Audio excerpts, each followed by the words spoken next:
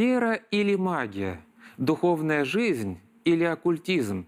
Что доставит душе человека желанное счастье?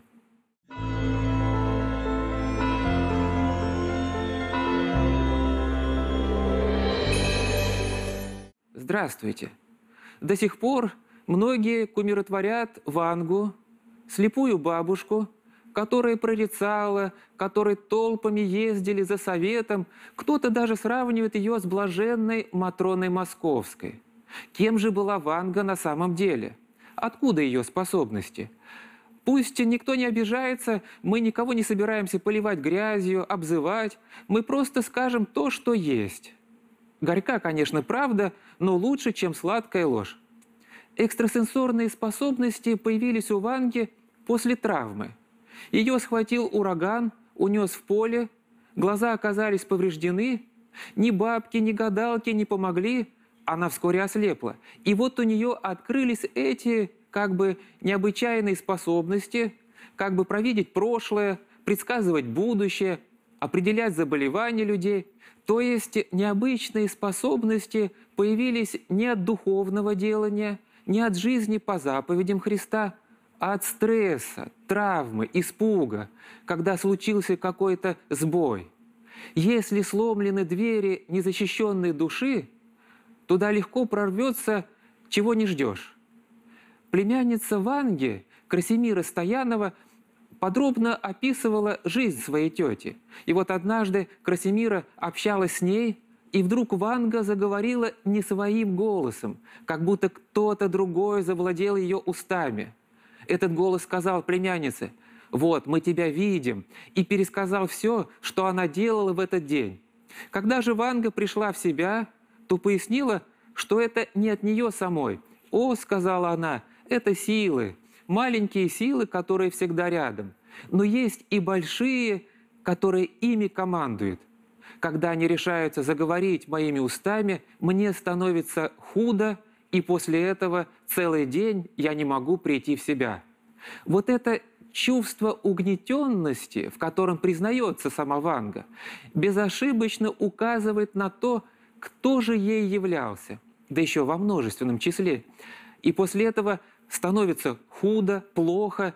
Красимира Стоянова описывает, как Ванга общалась с потусторонним миром.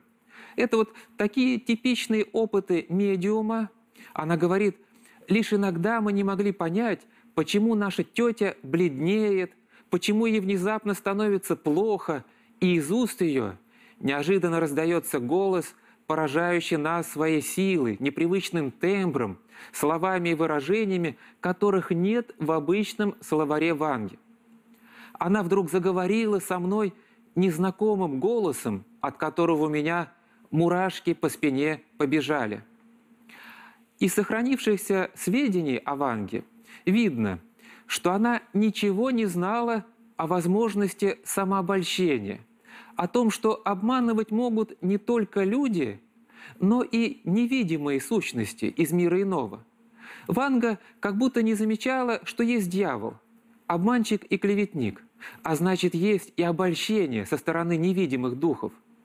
Ей что-то открывалось, кто-то ей что-то внушал, завладевал ее телом.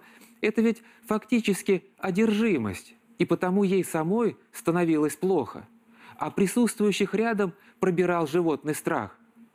Но то, что эти невидимые сущности, открывающие человеку какие-то тайны, могут быть демонами-обольстителями, сама Ванга никогда не догадывалась. Кому из святых людей приходили сверхъестественные способности только лишь потому, что их ураганом прокатило по земле, зашибло каким-то предметом, подлинные духовные дары не от страхов и стрессов – Святые своей духовной жизнью приближались к Богу и ради их смирения и чистоты сердца. Бог подавал им свои благодатные дары. Ванга была вне этого пути, и она сама не могла толком объяснить своих способностей. Поэтому в ее взглядах много всякой мешанины. Она положительно относилась к теософии Елены Блаватской, к учению Рерихов. Это все антихристианские направления – она верила в реинкарнацию. В общем, обычный набор оккультных бредней. образ, который создан в лице Ванги, это как бы бесовская пародия, карикатура на нашу святую старицу, блаженную Матрону Московскую. Святая Матрона до конца жизни верна была православию, хранила чистую веру во Христа и помогала людям освобождаться от оккультных влияний. Если мы хотим избежать обольщения, вместо сомнительных ясновидящих обратимся к нашим святым. Забудем про какие-то там мифические пророчества в Анге. Господь никогда не оставит нас. Молитесь, блаженной Матроне Московской, ходите к ее святым мощам, и всякое темное искушение обойдет вас стороной. Спаси всех Господь. Всего вам доброго.